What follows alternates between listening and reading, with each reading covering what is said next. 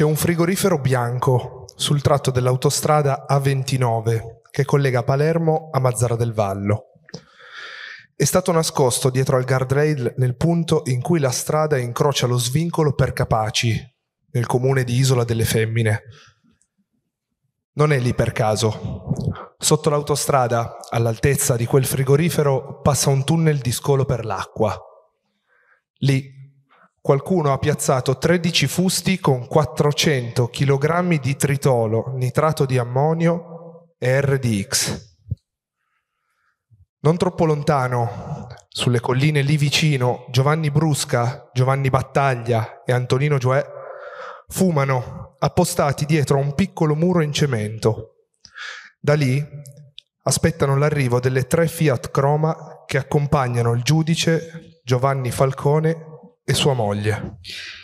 Alle 17.58 del 23 maggio 1992, gli uomini di Totorina, che nell'attesa hanno finito quattro pacchetti di sigarette, avvistano le auto. Ma Giovanni Brusca, l'uomo che ha in mano il detonatore, aspetta a schiacciare il pulsante. È convinto che le auto stiano andando più piano del previsto poi, passato il tempo che deve passare, preme quel pulsante. La prima croma bianca in testa viene investita dall'esplosione, sbalzata di 60 metri, uccidendo sul colpo gli agenti Antonio Montinaro, Vito Schifani e Rocco Di Cillo. La seconda auto, una croma marrone su cui viaggiano Giovanni Falcone e la moglie Francesca Morvillo, si scontra contro il muro di asfalto che nella deflagrazione è stato sradicato da terra. Gli agenti che guidano la terza auto invece si salvano. E tra i sopravvissuti c'è anche Giuseppe Costanza, l'autista di Falcone, che invece di essere la guida dell'auto del giudice è seduto dietro. Io sono Lorenzo Maravalle io sono Lorenzo Pregliasco. Questo è Qui si fa l'Italia. I momenti che hanno fatto la storia del nostro paese, raccontati a chi come noi non li ha vissuti. Buonasera. Buonasera. Buonasera a tutti. Buonasera. Ciao.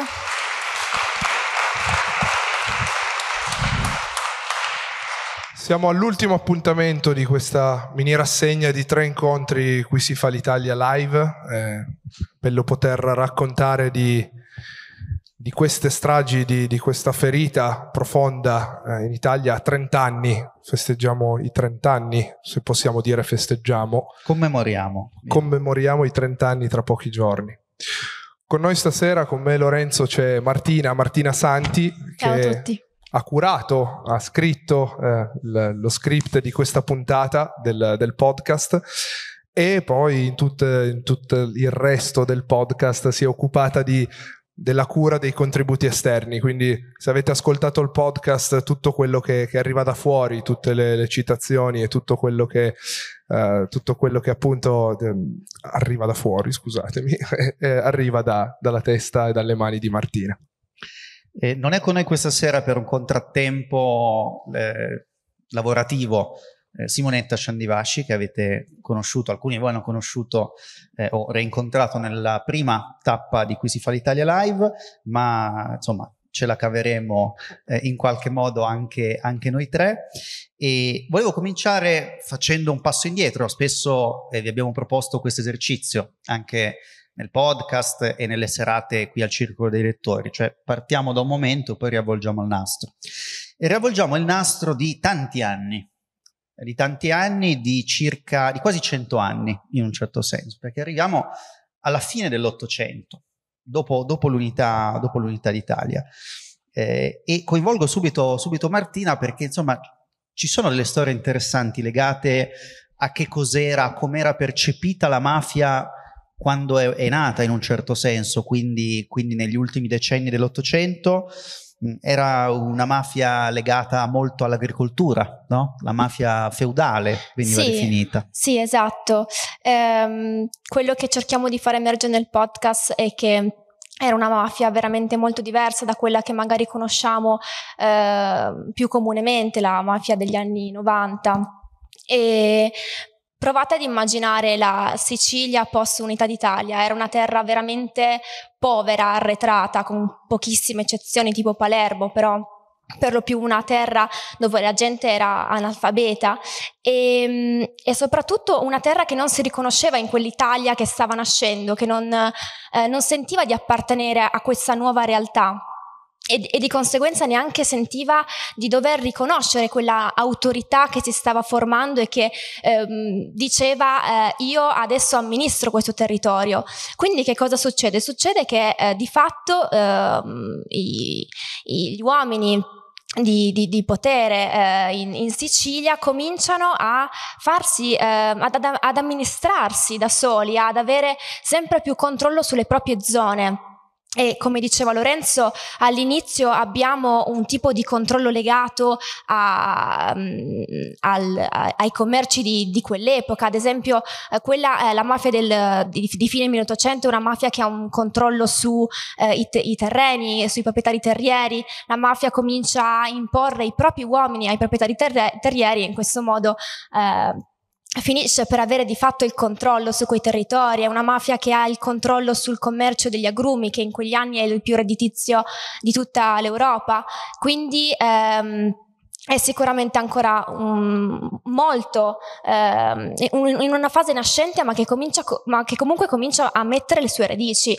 Uh, in tutto ciò um, però c'è, c'è, già qualcuno che, che, riconosce il potenziale criminale di questo fenomeno, nel podcast lo citiamo, Ermanno San Giorgi, che è un personaggio veramente incredibile perché, perché nel, già nel 1800 lui capisce la portata di questo fenomeno, cioè lui studia le bande armate siciliane e capisce che non ha di fronte eh, delle bande disorganizzate, ehm, che, che, dei fenomeni ehm, singoli, ma capisce che ha di fronte un vero e proprio eh, fenomeno strutturato e organizzato e quindi cerca di portare avanti, eccolo, il primo eh, processo alla mafia, quello che possiamo considerare il primo tentativo di, di, processare la mafia in quanto tale.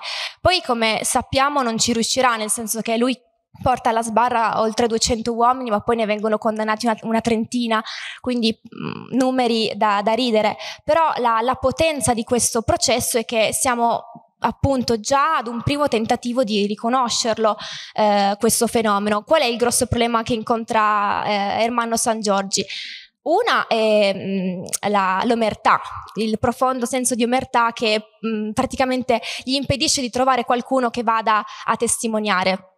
Il secondo grosso problema è che all'epoca la mafia, come anticipava Lorenzo, semplicemente per la maggior parte delle persone non esisteva e quindi chi prendeva seriamente la mafia, mafia de- veniva deriso paradossalmente, quando invece noi oggi abbiamo una concezione completamente diversa.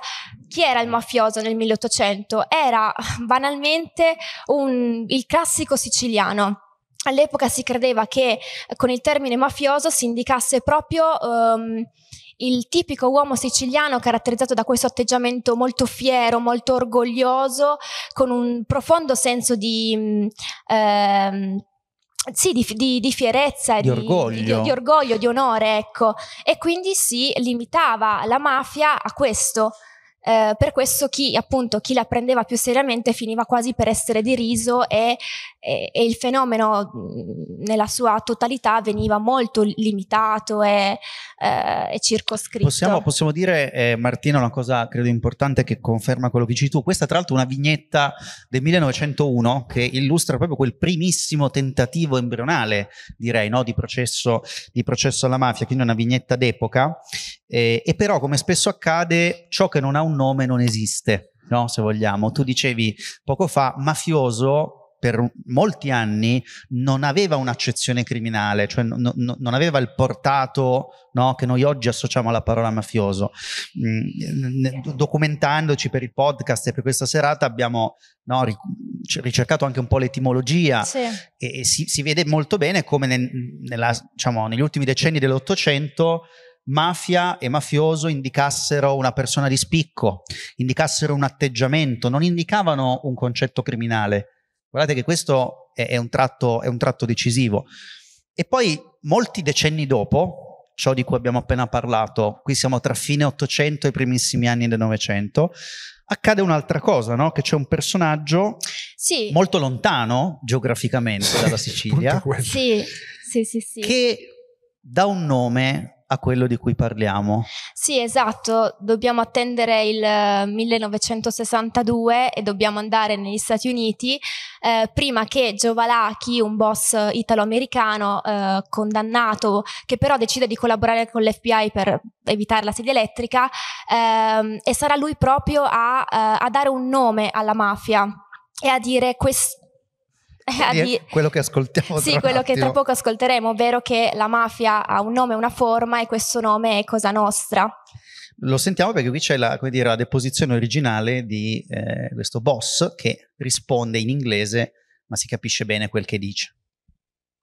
What is the name of it? It is Cosa Nostra in Italian. Cosa Nostra in Italian. Our, uh, our thing and our family in English. Cosa Nostra, no? con questo accento molto americano, our thing, our family, no? Esatto, sì, e questo è diciamo il primo momento in cui si comincia veramente a dare un nome a questa organizzazione criminale. Quello che stupisce è che dal processo San Giorgi fino a questo momento qua, di fatto la mafia ha potuto perdurare, vivere e anche ehm, eh, svilupparsi e passare da mafia del feudo a mafia eh, imprenditrice multinazionale che non è più interessata agli agrumi, ma adesso ha cambiato il suo interesse, ora guarda al cemento, a- al traffico di eroina e, e tutto questo pressoché senza ostacoli. Certo, e, e- e sono decine di anni quelle che passano, ovviamente tra i primi tentativi di- del questore San Giorgi, di, che poi fu questore molto- per molto poco tempo, un paio d'anni sostanzialmente, eh, tra il tentativo di riconoscere, prima ancora che perseguire la mafia come fenomeno criminale, e il momento in cui la mafia entra nel discorso pubblico. Cioè noi oggi siamo convinti che ci sia sempre stata la percezione della mafia, no? Invece fino a mm, tempi relativamente recenti non c'era la percezione della mafia come elemento del dibattito pubblico. Ehm, Lorenzo, eh, nonché Lollo, Ecco. se vogliamo, se vogliamo distinguerci, perché Ecco. abbiamo la sventura di portare lo stesso nome. Allora, abbiamo detto, Valachi siamo al 1962. No, quelli sono gli anni 60-70 in cui cosa accade? Accade che la mafia si trasforma, no? E nel frattempo l'Italia non è Eh, che fosse proprio Il non avesse niente a anni- cui pensare, eh, no? Il punto di quegli anni è che sì, è vero, la mafia diventa imprenditrice, diventa mafia del, del cemento, lo dirà anche un importante magistrato, Rocco Chinnici, mol- qualche anno dopo, ma il punto è che diventa quella mafia anche grazie alla connivenza con, eh, polit- con la politica locale, con la politica siciliana. Perché, come dicevi giustamente tu, in Italia, negli anni tra la fine degli anni 60 e l'inizio degli anni 80, l'attenzione pubblica, perché guardate, qui il punto è una cosa che ha detto giustamente prima Martina, il primo processo alla mafia. Quindi il- l'attenzione, il fuoco del- dell'opinione pubblica era tutto da un'altra parte, era al terrorismo, era alle stragi agli anni di piombo iniziati con Piazza Fontana e finiti nell'80 con la stazione di Bologna. Quindi c'era una, tutta una- un'attenzione pubblica e un racconto sui media, sui giornali, sulle prime pagine dei giornali che vedremo tra poco, molto diverso rispetto a quello che siamo abituati. E Falcone e Borsellino si inseriscono proprio in questo, la loro importanza, il momento che segna un prima e un dopo e nella nostra percezione anche che abbiamo oggi ancora del fenomeno mafioso. Noi qui vediamo un, un momento cruciale, l'inizio, diciamo così, del- dell'uscita pubblica, potremmo dire, della, della mafia dalla Sicilia un po' sul- sui media eh, di tutta Italia, perché abbiamo i Rina, Provenzano e Bagarella, la fazione corleonese di Cosa Nostra, che cerca di fare le scarpe a Tano Badalamenti. Tano Badalamenti, il boss che ordinò la- l'uccisione di Peppino Impastato il 9 di maggio del 1978, data tristemente nota anche per eh, l'omicidio Moro.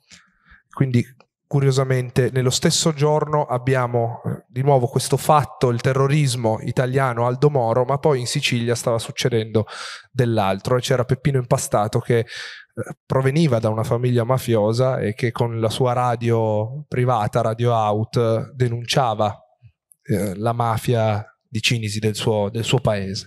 E qui eh, appunto chiederei a Martina, no? eh, qui vediamo sostanzialmente alcuni volti eh, dei protagonisti della, della, mafia, ma soprattutto dei protagonisti della guerra di mafia che si consuma diciamo tra gli anni 70 e, e l'inizio degli anni 80. È la cosiddetta presa di potere da parte dei corleonesi. No? Corleone, insomma, lo sappiamo, è una località vicino, vicino a Palermo. Che, come si realizza questa presa di potere? Eh, nel podcast c'è, c'è, un estratto di, di una intervista a Giuseppe Ayala, altro eh, noto giudice, giudice antimafia, che dice, insomma, a un certo punto i corleonesi si, si, stufano sostanzialmente dell'equilibrio di poteri e entrano in gioco i Kalashnikov, usa questa espressione. Che cos'è la guerra di mafia e che cos'è l'ascesa dei corleonesi, Martina, in qualche parola? Ma eh, l'ascesa di ma- eh, la, la, guerra di mafia è eh, il, il, momento che segna veramente un nuovo capitolo per Cosa Nostra, perché abbiamo nuovo, questa nuova fazione corleonese guidata da eh, Luciano Liggio, eh, che eh, a tutti gli effetti dichiara guerra contro l'altra grande fazione di Cosa Nostra, guidata da Badalamenti, che però era formata da persone di di spicco, tutta, eh, tutti um, uomini d'onore che si erano arricchiti col sacco di Palermo. Paradossalmente i corleonesi arrivavano da un paesino arretratissimo, possiamo immaginare la Corleone di quegli anni come un paese in cui i bambini camminano scalzi, gli animali sono liberi, c'è il fango ovunque, veramente proprio il simbolo della retratezza siciliana. E... Sac- diciamo cos'è il sacco di Palermo, visto che l'hai citato, eh, l'abbiamo eh, più o meno citato già prima. Sì, ma... eh, fa riferimento ad un periodo eh, tra gli anni 50 e 60 in cui a Palermo Palermo è vittima degli abusi edilizi, per cui vengono eh, costruiti centinaia di palazzi abusivi grazie proprio a questa convivenza eh, fra eh, politici eh, locali, eh, pensiamo ad esempio a persone come Vito Ciancimino o Salvo Lima, eh, che hanno permesso appunto la costruzione di questi, di questi enormi abusi edilizi. E, um, e quindi questa fazione corleonese che cosa fa? Decide di, di, di, di, dichiarare guerra a quest'altra fazione in che modo? Sostanzialmente uccidendo ogni possibile rivale e gli anni 80 sono veramente anni in cui a Palermo eh, ogni giorno c'è almeno una sparatoria, un, un'esplosione, sono anni in cui diventa un campo di battaglia questa, questa città e lentamente riescono a far fuori eh, i principali esponenti della, dell'altra fazione come Bontate, Inzeri, Zerillo, Badalamenti poi verrà appunto processato e, e finalmente eh, accus- accusato del, eh, dell'omicidio impastato. Quindi alla Badalame, fine... Di impastato dopo molti anni tra l'altro. 24, sì, 24 anni. anni. Quindi di fatto riescono, eh, riescono, a prendere il controllo di Cosa Nostra, però ehm, nel prendere il controllo di, di Cosa Nostra loro eh, attuano una politica completamente diversa dalla eh, dai mafiosi diciamo di, di vecchio stampo, di, di, vecchia scuola e attuano eh, la cosiddetta fase stragista.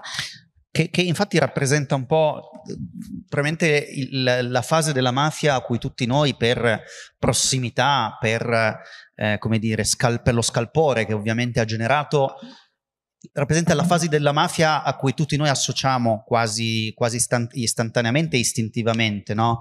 il concetto di Cosa Nostra, e però è stata solo una fase in realtà della lunga storia della mafia. Vi abbiamo raccontato prima come all'inizio fosse un fenomeno feudale legato all'agricoltura, poi fosse diventato un fenomeno molto legato alla speculazione edilizia e al narcotraffico.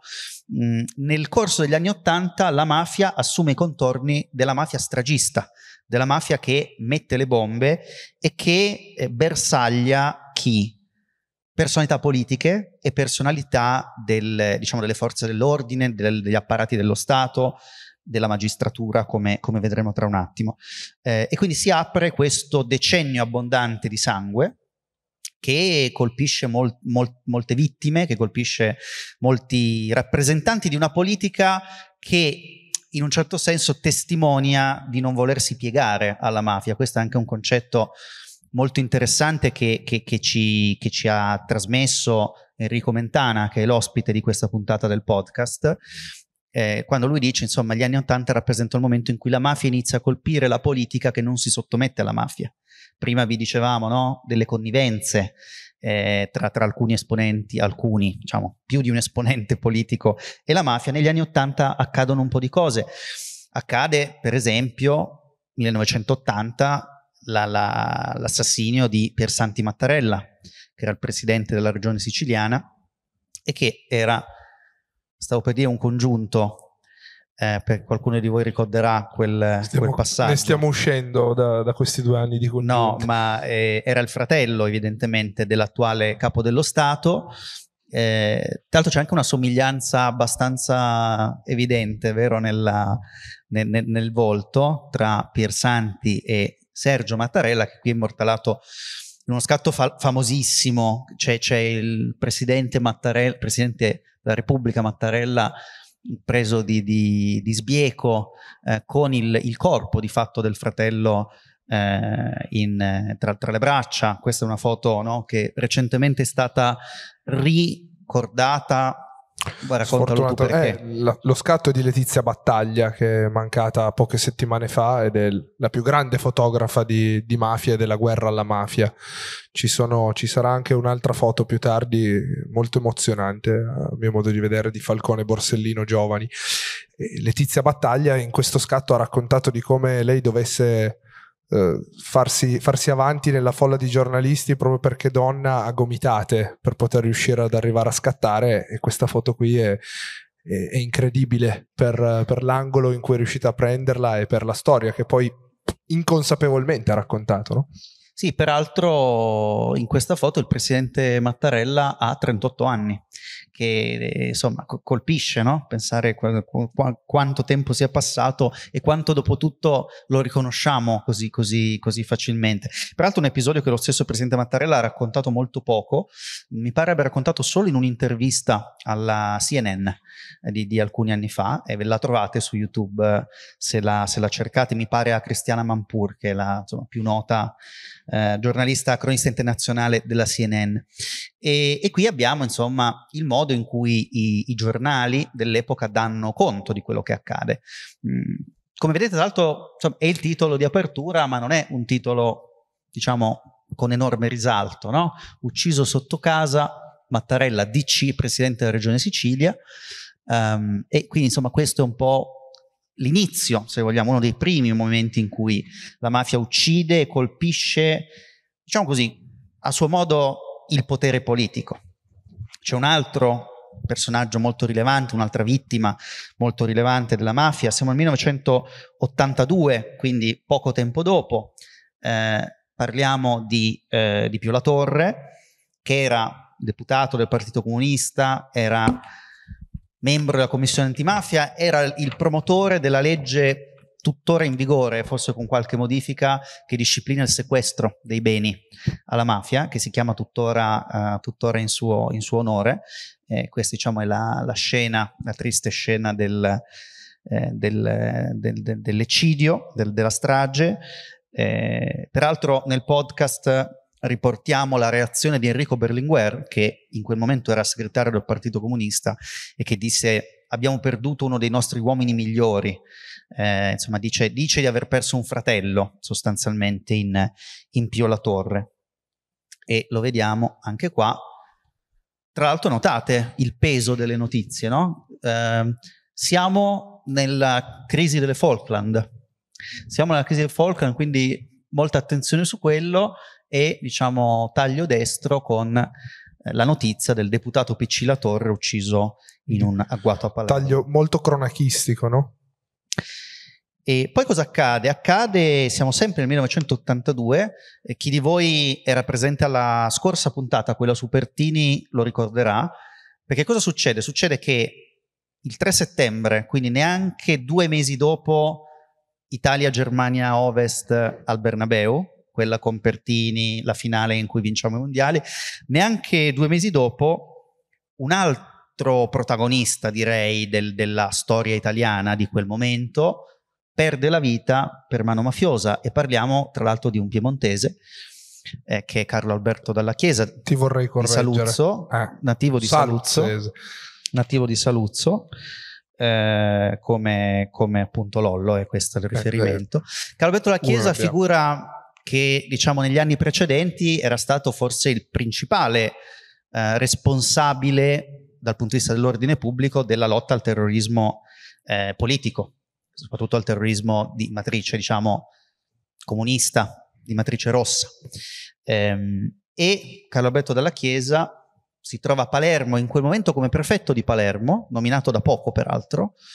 Mm, ci sono molte, molte testimonianze su quanto lui percepisse di non avere gli strumenti per fare davvero la lotta alla mafia come, come sarebbe stato opportuno, Eh, ma è il prefetto di Palermo, eh, in quel momento era generale dei, dei- dei carabinieri, mm, e una sera, mentre sta andando a cena con la moglie a Mondello, in un ristorante di, di Mondello, mentre sta andando là, in, in auto, si affiancano alla loro auto una- un'altra auto e una, e una moto eh, e vengono uccisi entrambi e dopodiché viene ucciso anche l'unico agente della scorta eh, presente. C'è questa foto piuttosto cruda ma molto nota della diciamo, scena del delitto, eh, per cui insomma se siete impressionabili ehm, vi, vi impressionerà sicuramente, ma questo è quello che, che è accaduto il 3 settembre del 1982 in una via di Palermo.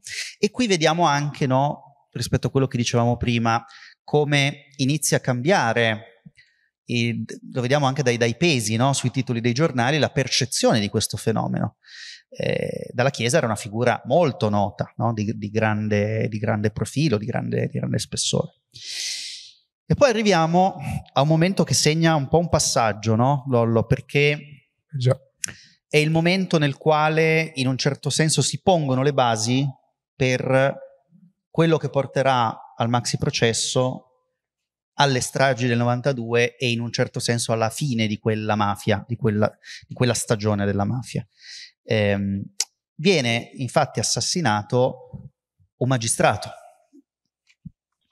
Viene assassinato il magistrato che ebbe l'intuizione di creare il pool antimafia e quindi di combattere la mafia, di, di fare un processo alla mafia e non un processo di mafia. E la differenza è sostanziale ed importante perché Rocco Chinnici ebbe l'intuizione di non combattere la mafia con, singoli, con singole indagini separatamente, sparpagliatamente, ma di cominciare a trattare la mafia come un fenomeno unico, come un fenomeno tutto collegato. E quindi da lì l'intuizione di creare il pool antimafia, cioè una squadra, un team di magistrati che lavorano in gruppo per istituire un processo unico alla mafia siciliana, a Cosa Nostra, ma sfortunatamente e a causa di questo, proprio perché questa intuizione, questa idea cominciava a farsi, eh, farsi, strada e Cosa Nostra sapeva quanto fosse pericoloso uscire alla luce del sole in questa maniera, venne fatto saltare in aria sotto Sì. casa. Viene assassinato nel 1983, qui vediamo eh, que- diciamo, la, la strada di casa sua dopo l'attentato, Eh, peraltro mh, muore lui, muoiono se non ricordo male due o tre eh, tra agenti di polizia e carabinieri e muore anche nella come dire, fatalità tragica il portiere del suo stabile che si era avvicinato a lui per salutarlo, come faceva tutte le mattine, e rimane vittima della- dello scoppio di, una- del- di un'autobomba sostanzialmente che, che era stata piazzata davanti, davanti a casa sua. Ecco, Lorenzo, scusami, ma faccio solo notare come è cambiato anche il modo di, di assassinare gli avversari politici e i magistrati, no? Abbiamo visto dei, prima delle morti in strada, degli agguati eh, di guerriglia. Qui invece è per lasciare un, un segno importante. Sì, diciamo, si passa proprio alla mafia delle stragi, delle bombe, che è un po' insomma quella da cui abbiamo cominciato raccontando Capaci, eh, maggio 92 e insomma non è un caso che abbiamo scelto di chiudere con questa puntata perché siamo nel maggio del 2022 e si, si commemorano appunto i, i 30 anni da quel da quella attacco non solo a Giovanni Falcone ma anche alla, alla nostra Repubblica in un certo senso. Insomma l'assassinio di, di, di Rocco Chinnici, strage della mafia a Palermo per uccidere un giudice scomodo, eh, mentre vedete tracce dell'instabilità politica, no? Pertini sollecita Craxi, governo entro 15 giorni, c'erano state da, eh, dire, da poco le elezioni politiche, Craxi sarebbe diventato presidente del Consiglio e, come dire, eravamo al, alla vigilia di un, di un nuovo governo. Eh, qui vediamo l'unità che parla di terrore mafioso e c'è anche questo riferimento, devo dire, no? piuttosto forte, Palermo come sì. Beirut, cioè l'idea di un livello di stragismo che quasi fa pensare di non essere in Italia, di non essere in Europa, ma di essere, di essere altrove. E dicevi, eh, dicevi, Lollo, giustamente che Rocco Chinnici, cioè la vittima di questo attentato nel 1983, è l'ispiratore del pool antimafia. Cioè l'intuizione che ha è noi non possiamo trattare la mafia come un qualcosa che produce singoli effetti. Non dobbiamo andare dietro al singolo evento, al singolo omicidio, alla singola estorsione. Noi dobbiamo abituarci a combattere la mafia così come abbiamo combattuto il terrorismo. Siamo veramente a pochi anni dalla, uh, quasi contemporanei alla, alla, fase finale degli anni di piombo, ok? E quindi L'intuizione di Rocco Chinici è costruiamo un pool, collaboriamo tra magistrati, affrontiamo la mafia come un problema sistemico. E qui vediamo tra l'altro una, una immagine del pool no? di magistrati, tra cui si riconoscono non solo Giovanni Falcone e, e, e Paolo Borsellino, ehm, che peraltro qui vediamo in altri scatti, forse qui facevi rif- eh, a, quest- a, questa che facevi riferimento, uh, quella dopo, quella dopo sì. questa qui che è un'altra foto, sì. eh, diciamo, no, non tra le più celebri, no, no. ma molto, molto bella, eh, di, di, della stessa autrice della fotografia di, di Piersanti e Sergio, e Sergio Mattarella. E, insomma, qui siamo, se vogliamo, no, al, all'ingresso di Paolo Borsellino e Giovanni Falcone nella storia effettiva della lotta alla mafia. Eh, loro, possiamo dirlo, si conoscevano da ragazzini.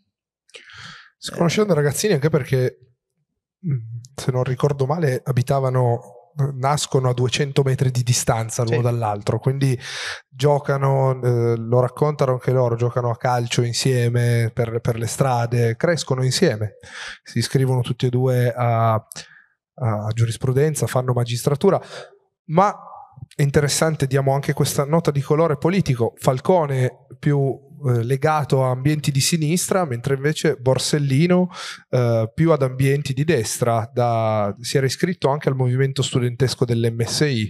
Eh.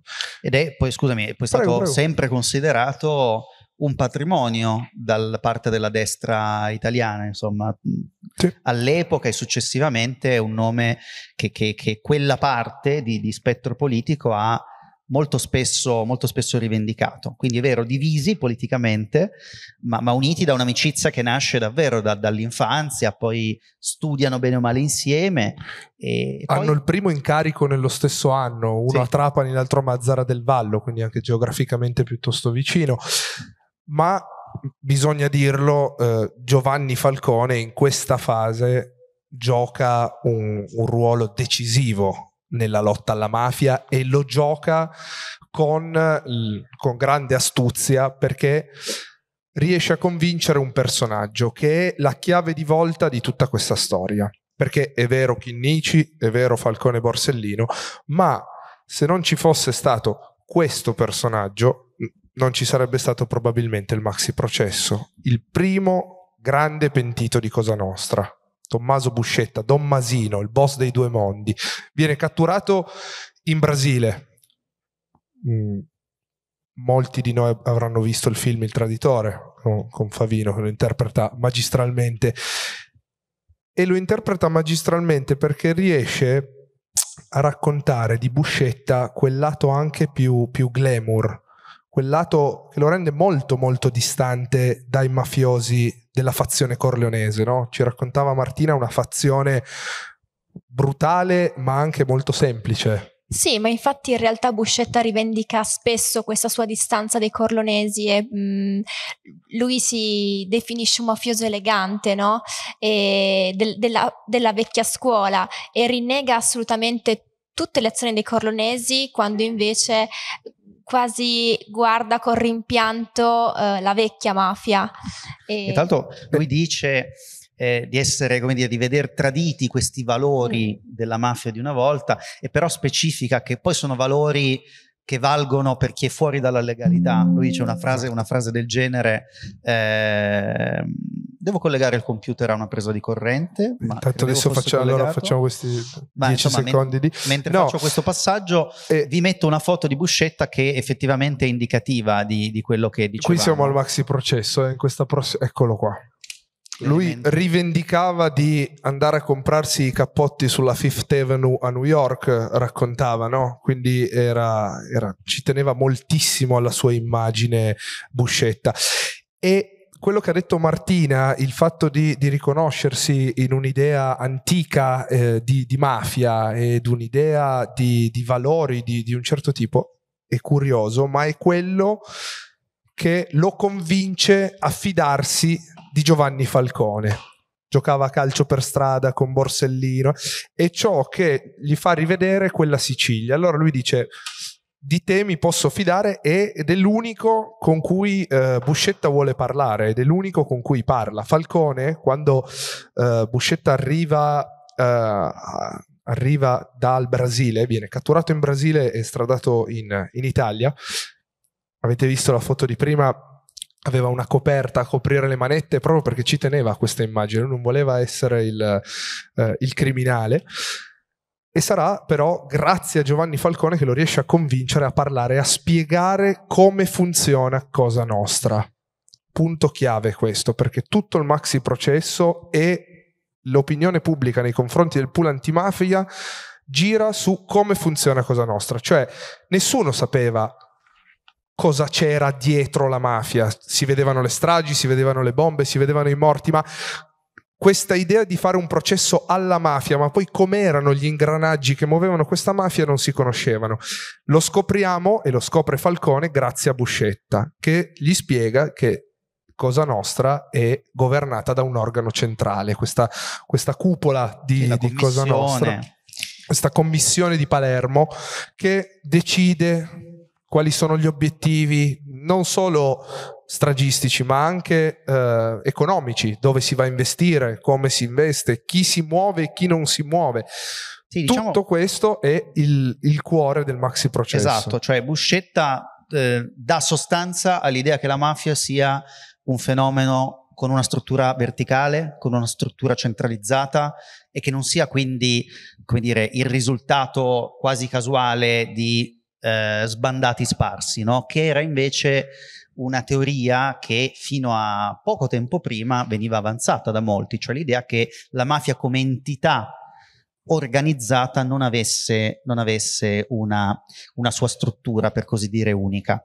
E diciamo, sulla base di, delle intuizioni di Rocco Chinnici, del pool, sulla base delle eh, dichiarazioni del primo pentito eh, Buscetta, eh, peraltro nella sua mh, estradizione, nel suo convincerlo a, a cooperare con la giustizia italiana, ebbe un ruolo anche una figura che poi ha avuto molti altri incarichi, come sappiamo nel- nei decenni successivi, Gianni De Gennaro, che è stato poi capo della polizia e molte altre cose e che all'epoca era capo della Criminal Pol, si arriva a che cosa? Si arriva a un momento che è la svolta, che porta poi, se vogliamo, a- a- al momento finale verso il quale ci stiamo dirigendo nel racconto, cioè il cosiddetto maxi processo. No?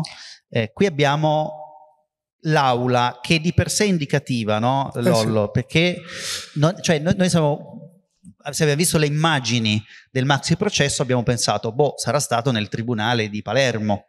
Invece no. No, è stata costruita apposta nel carcere del Lucciardone di, di Palermo, eh, l'aula bunker, la chiamavano l'astronave verde per questo, per questo colore, è un'aula, è un'aula di tribunale appositamente costruita per fare il maxi processo. In pochissimo tempo è stata costruita. Qualche mese. Sì, tenete presente che eh, Buscetta arriva in Italia nell'estate dell'84, eh, partiamo con, con, il processo, del, con il maxi processo nell'85, 6, 6, 6, 6, 6. Um, quindi in pochissimo tempo viene costruita un'aula bunker perché è capace di resistere ad attentati terroristici, ad esplosioni, a incursioni. Ci sono 30 celle in cui mettere gli imputati. Quindi questo anche questa si, è una grande novità. Lo si vede bene qui, vedete le celle laterali, per cui gli imputati non sono eh, vicino agli avvocati, sono separati, vedete? E Martina, torno a te, che cosa succede nel maxi processo? Nel maxi processo ehm, si cerca di eh, far approvare, eh, far riconoscere il teorema eh, Buscetta, ovvero l'idea che eh, Cosa Nostra sia a tutti gli effetti un'organizzazione criminale con una struttura verticale, con un impianto, eh, con una Costituzione, perché poi questa commissione si è data anche una Costituzione con delle sue regole, dei, dei suoi obiettivi. E ehm, Oltre a questo ovviamente eh, ci sono 474 condannati eh, e mm, nel giro di pochissimo in realtà perché appunto abbiamo detto che il processo comincia nell'86, nell'87 abbiamo già la prima sentenza e effettivamente dopo un anno abbiamo la, la conferma del teorema Buscetta e eh, la condanna di praticamente tutti, tutti condannati, eh, tutti i processati, forse giusto qualcuno. Qui, qui, qui l'occhiello dice si è salvato solo Calò, condannata tutta la cupola. Um, però questo è il primo grado. Sì, questo è soltanto il primo grado. C'è da, eh, c'è da, dire intanto che è un grandissimo successo e dobbiamo interpretare la sentenza di primo grado come il primo vero colpo inferto alla mafia e eh, è anche il primo colpo che fa un po' tremare le gambe a Totorina che intanto è diventato, diciamo, lui il, eh, il, il leader di, dei Corleonesi e che co- come risposta comincia a uh, uccidere quasi tutti i parenti di, di, Buscetta come segnale sia per lui che per chiunque altro gli, a cui venga in mente di fare da, di, di, di, pentirsi e quindi di, collaborare con la giustizia. Come diceva Lorenzo, purtroppo siamo solo alla prima sentenza perché poi nel um, 91, nel 90, 90. Uh, ci sarà la seconda sentenza che in realtà uh, ribalta di tanto la prima e soprattutto rinnega il teorema Buscetta che era stato diciamo alla base eh, del, del maxi processo. Quindi c'è un percorso accidentato no, del maxi processo che dapprima riconosce anche con una certa rapidità il teorema Buscetta, eh, condanna più di 400 persone, di fatto non dico smonta, ma colpisce da, da un colpo davvero significativo alla cosiddetta cupola ma poi nel 90 l'appello, la sentenza d'appello fa fare un passo indietro a questo, a questo, a questo processo. Manca però un grado di giudizio e Lorenzo l'ultimo grado di giudizio arriva in un anno particolare, direi. Sì, l'ultimo grado di giudizio infatti arriva nel 92, eh, la, il giudizio della Cassazione che di fatto fa tornare no, al, alla situazione del primo grado e quindi va a confermare invece l'impianto accusatorio, eh, arriva nel 1992, mh, mm, su cui arrivo tra un secondo perché quello che dobbiamo ricordarci è che tra il 90 e il 92, no, tra l'appello e poi il 92 quando verrà confermata sostanzialmente la condanna del primo grado, forse abbiamo il momento di maggior isolamento di Giovanni Falcone e di Paolo Borsellino. Ehm, Falcone nel 91 viene chiamato a Roma dal ministro Martelli come direttore del Dipartimento degli Affari Penali eh, e alcuni dicono da Roma no, Viene, a Roma viene distratto dalla Sicilia e poi così in realtà non sarà perché eh, ah, in quella veste no, istituirà la, la direzione investigativa, investigativa e nazionale antimafia, quindi insomma farà dei passi importanti, però quella fase lì è la fase in cui quindi iniziano ad esserci delle crepe, no? anche nella percezione pubblica, ne, ne, attraverso meccanismi anche di delegittimazione più o meno interessati che colpiscono Giovanni Falcone Paolo Borsellino, che poi noi oggi celebriamo come eroi di quella stagione, ma che per molti in quel periodo non erano degli eroi, ma erano dei, eh, personaggi in cerca d'autore, personaggi che cercavano visibilità teniamo sempre presente questo elemento, no? Che poi la fine tragica e l'eredità che ci hanno consegnato um, tende a farci dimenticare questo passaggio, ma c'è stato un passaggio in cui erano due figure piuttosto scomode per, per molti. Il 92 è importante, però, perché c'è la sentenza di Cassazione sul maxi processo, perché non so se, come dire, eh, è, è, forse l'evento in assoluto che associamo più al 92 insieme alle stragi di mafia, nel 92 scoppia Tangentopoli. Quindi è un momento di grande crisi politica, di grande trasformazione, c'è il crollo, da, tra il 92 e il 93 c'è il crollo del sistema dei partiti, no? Tut, tutto lo sfarinamento del sistema che aveva retto la Prima Repubblica. E allora noi qui abbiamo eh, selezionato un pezzetto eh, di cui abbiamo solo l'audio, perché è l'intervista che ci ha rilasciato per il podcast eh, Enrico Mentana, che ha però come diciamo, sfondo l'immagine della prima edizione del TG5, di cui vi invito, a parte i capelli di Mentana e gli occhiali, di cui vi invito a guardare la data, siamo a gennaio del 92. Quindi di lì a poche settimane lo scoppio di, diciamo, di, di quello che sarebbe poi diventato Tangentopoli, la Cassazione sul maxi processo e di lì a pochi mesi le stragi di mafia da cui siamo partiti. Sentiamo allora che cosa ci dice Enrico Mentana su, sulla sua prospettiva di quell'anno come, come pochi, diciamo un anno interessante se vogliamo essere neutri.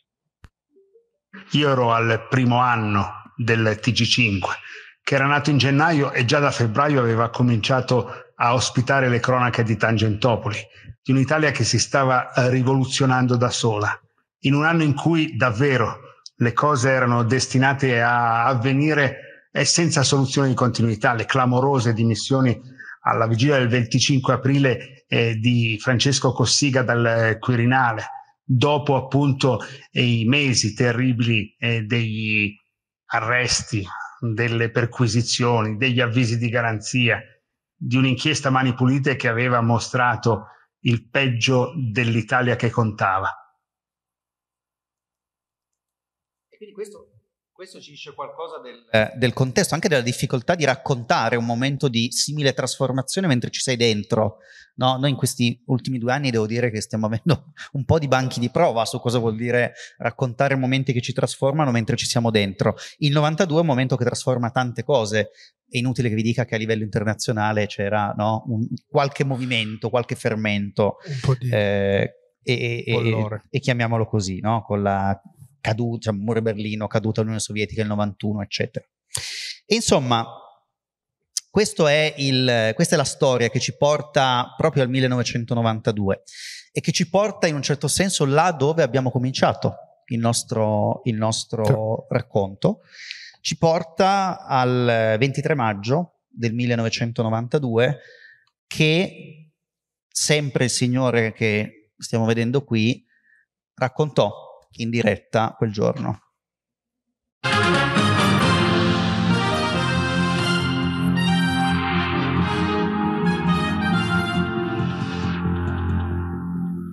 Buonasera, l'Italia è in lutto per l'uccisione del suo giudice simbolo nella lotta contro la mafia. Giovanni Falcone è morto poche ore fa vicino a Palermo in un attentato devastante che ha provocato, secondo le ultimissime notizie, anche la morte della moglie e di quattro uomini della scorta.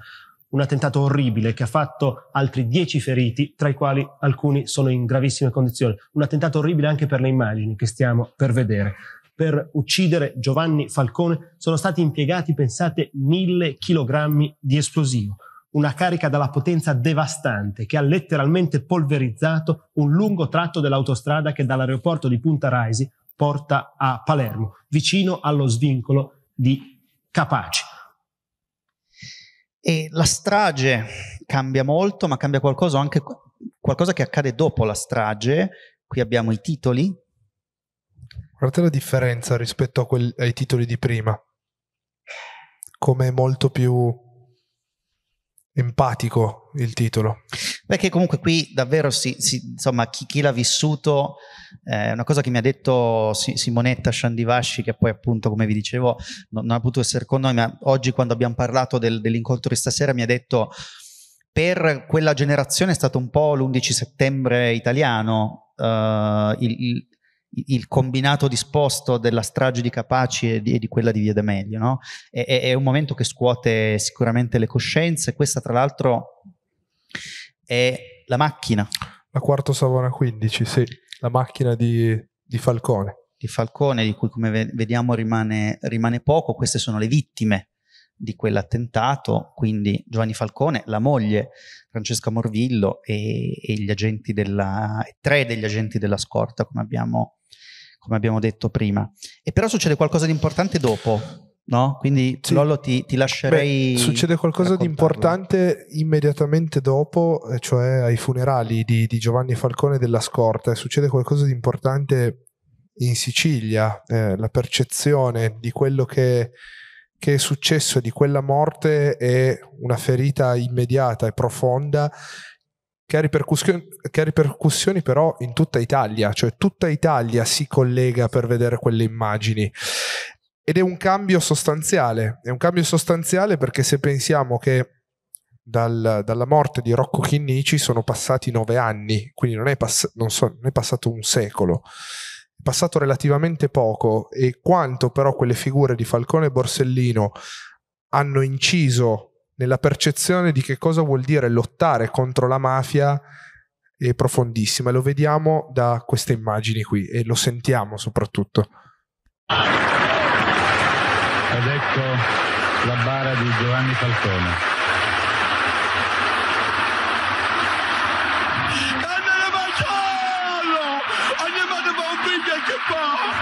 Muore! Bazzate! Complici sono, signora, tutti, tutti complici.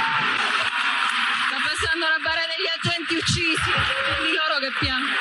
Il sangue dei giusti è seme! La gente...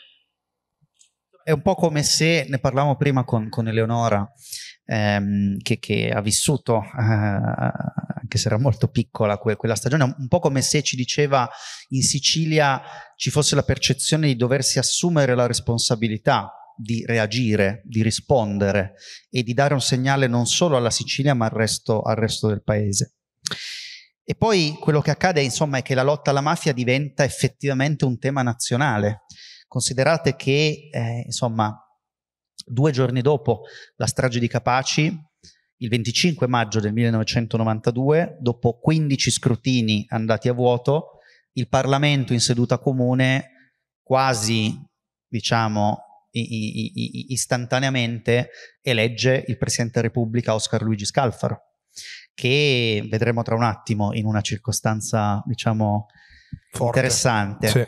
Eh, come a dire che la politica che era in quella fase lì davvero in uno stallo molto complicato sull'elezione del capo dello Stato, come se la politica sentisse la necessità di, di dare una risposta, di dare una risposta immediata al, alla stagione stragista e a questo fatto, alla, alla, all'assassinio del giudice Giovanni Falcone.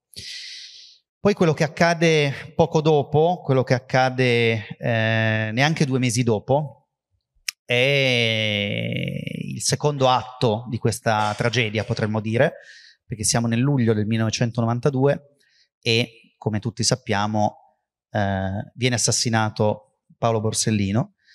Eh, qui abbiamo un altro reperto, diciamo, originale che ci racconta di come fosse sempre lui su, su, su, Canale 5 no? a raccontare la cronaca di quei momenti, Enrico Mentana.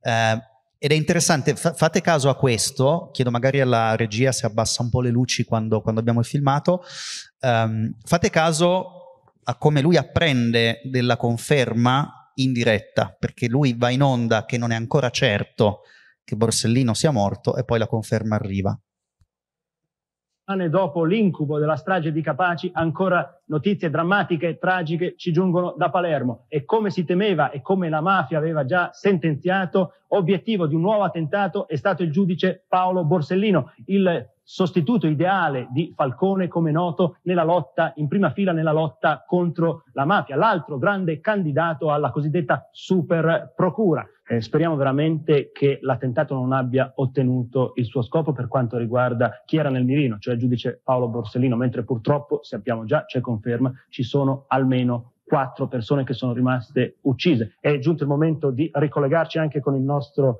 eh, Salvo Sottile. Salvo, hai ulteriori notizie? Sì, direttore, la conferma è avvenuta. Il cadavere che c'è davanti alla portineria è proprio quello di Paolo Borsellino.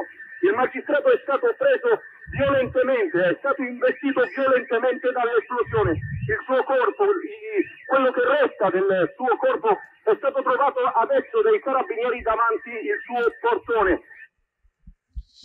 avete notato no, il momento in cui lui stesso apprende la, la, della conferma di qualcosa che non era certo, eh, certo era molto probabile evidentemente, ma non era certo quando quell'edizione straordinaria del TG5 era cominciata. E anche qui dopo, i, um, dopo l'assassinio di Paolo Borsellino che eh, avviene qui in via D'Amelio, eh, davanti alla casa della madre, dove lui andava tutte le domeniche. Sì, andava, andava, a trovarla. Il caso vuole che in quello stesso edificio abitasse un, un uomo d'onore della famiglia di Bonanno che poi informa eh, gli alti vertici di Cosa Nostra eh, sulle visite frequenti di, di Borsellino. E, e, poi insomma sappiamo tutti com'è, com'è andata a finire. Sì, una, un'autobomba che devasta, come vedete, ampi ampi tratti del, del, dell'edificio, almeno dei piani bassi di questo edificio. Tra l'altro un, un elemento curioso nella tragedia è che tu, tutti quei, quei, palazzi, tutta quell'area è, una, è, un'area di palazzi molto alti, figli proprio de, dell'abusivismo degli anni 50 e 60, eh, vengono distrutte credo 30 macchine, 30 automobili dalla, dall'esplosione, è, è, un attacco veramente, veramente devastante questo è il titolo, il titolo del Corriere della Sera. Notate, uh, assassinati il giudice e cinque agenti di scorta, tra cui una donna, perché effettivamente, la, la vediamo qui tra l'altro, Emanuela Loi, è la prima o una delle prime, insomma, sono, questo non, non c'è chiarezza, eh, donne in servizio uccise eh, insieme a tanti colleghi di cui abbiamo visto tristemente i volti anche, anche prima parlando di, eh, di, Giovanni Falcone. Cosa accade dopo, dopo la strage di Via D'Amelio? Accade che insomma si ha ancora più la consapevolezza no, che questa sia una questione nazionale e qui abbiamo come dire, un, qualche immagine dai funerali della scorta. Sì, della scorta perché la moglie di, di Borsellino si rifiuta eh, di accettare i funerali di Stato eh, credendo che, che sia stato proprio lo Stato a mm, uccidere suo, suo, marito in qualche modo, non, eh, non, riconoscendogli il supporto di cui aveva effettivamente bisogno. Quindi eh, i funerali di Borsellino poi si svolgeranno in forma privata, quelli che stiamo vedendo sono invece i funerali della scorta. Qui Scalfaro.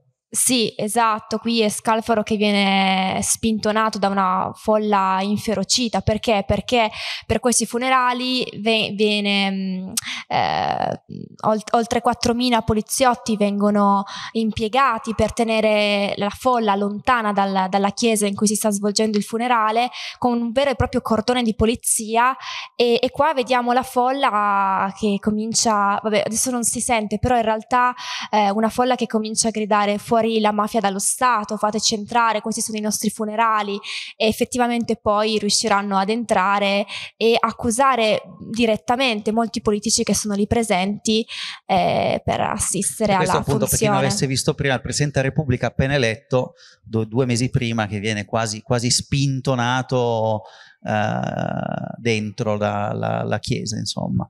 Eh, co- cosa ci dice Lollo questo, questo momento? È un momento tosto, eh, è un momento tosto per, per, un sistema politico che alla fine dei suoi giorni, eh, due anni dopo abbiamo la discesa in campo di, di, Silvio Berlusconi, la fine della Prima Repubblica, l'ultimo episodio del, della prima stagione di Di cui si fa l'Italia. È un momento molto difficile per per l'Italia intera, che sente davvero di aver perso due figure importanti. La lotta alla mafia però è diventata qualcosa, è diventata un fatto nazionale. È diventata, non è più un, un fenomeno isolato, non è più un qualcosa di relegato alla sicilianità. come si pensava prima, ma invece è qualcosa per cui tutti abbiamo preso coscienza e sfortunatamente i, i, nostri, i nostri, fratelli siciliani, come ci raccontava prima Eleonora, l'hanno, l'hanno presa più di tutti noi.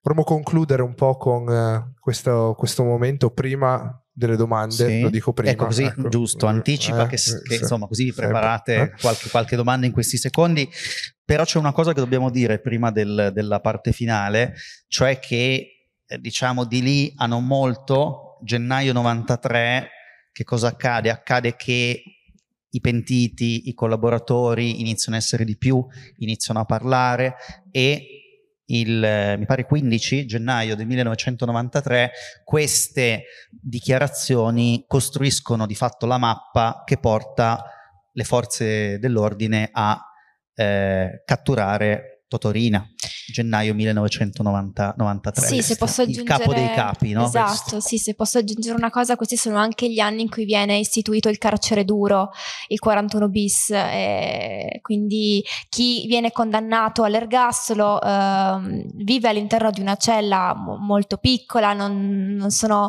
previste visite, non sono previste ore d'aria e questo però eh, ha i suoi effetti perché spinge molti mafiosi al, a pentirsi e a collaborare con, con la giustizia. Quindi, quindi anche, anche, questo aiuta. E poi, esatto, eh, si arriverà anche alla cattura di Totorina grazie ad un personaggio in particolare che è Balduccio Di Maggio, che anche lui collaborerà con la giustizia eh, fino a creare proprio eh, una strada veramente fino alla, alla villa, villa di Rina. E questo diciamo, segna poi la fine almeno di quella, di quella fase no? della, sì della, esatto. della mafia. Hai detto bene, di quella fase, perché dopo l'arresto del capo dei capi, la guida di Cosa Nostra passa a Leoluca Bagarella e poi a Bernardo Provenzano. È con lui che la strategia di Cosa Nostra cambia. Provenzano mette fine alla stagione della mattanza, delle bombe, degli attentati e in qualche modo si rende invisibile. Forse perché non conviene più ma forse anche perché i cortei nelle strade di Palermo, gli striscioni appesi ai balconi, le associazioni antimafia raccolgono l'immagine di un'Italia che sta cambiando, di un paese in cui la consapevolezza di cos'è la mafia inizia a dare i suoi frutti. Grazie a Giovanni Falcone, a Paolo Borsellino e a tutte le vittime di mafia davvero possiamo dire al di là della retorica che Falcone e Borsellino siano stati due eroi, che lo siano nella nostra coscienza collettiva. Perché se pensiamo a chi ha combattuto contro la mafia, è stato ucciso dalla mafia, ma ha vinto la sua battaglia, per cui la mafia di oggi ci fa molta meno paura di quella ed è profondamente diversa da quella stragista, è tutto merito di quelle figure che sono state in qualche modo l'emblema della nostra volontà di non farci piegare, ma anche della volontà di capire, di portare a processo, di battere nel processo i capi di Cosa Nostra. Senza di loro sarebbe una guerra là, relegata in Sicilia, con le propaggini magari nel resto d'Italia col sacrificio, ma prima ancora con la battaglia di Falcone e Borsellino, la lotta contro la mafia diventò un'emergenza nazionale, come lo era stata nella fase più forte col delitto Moro e subito dopo l'emergenza nazionale contro il terrorismo. Era ancora una dimostrazione che il paese, la nazione, il sistema Italia sa entrare nell'emergenza con tutta la sua compattezza. Il problema è resistere, durare, riuscire a far diventare permanente quella capacità di lotta. C'è una frase di Giovanni Falcone che dà, possiamo... che dà il titolo a un libro curato dalla sorella Maria e che aiuta a dare un senso alla stagione che abbiamo raccontato stasera. Una stagione fatta di violenza e di terrore, ma anche di coraggio e di riscatto. E questa frase qui, gli uomini passano, le idee restano, restano le loro tensioni morali e continueranno a camminare sulle gambe di altri uomini. Grazie.